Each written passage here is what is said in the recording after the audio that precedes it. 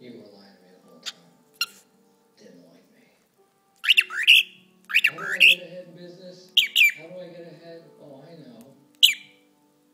I'll find a great taxidermist and I'll hit him with my car. And then I'll have